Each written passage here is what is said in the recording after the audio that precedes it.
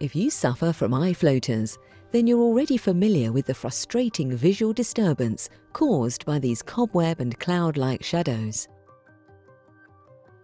Eye floaters often result from the natural process of vitreous deterioration.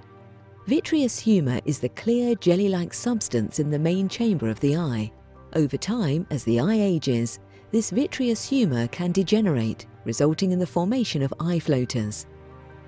Whilst floaters do not generally affect visual acuity, they can negatively affect quality of vision. Eye floaters are more likely to develop in people who are nearsighted, have diabetes, or who have had a cataract operation. A floater's impact depends on its size, density and location. These characteristics also determine whether it can be treated.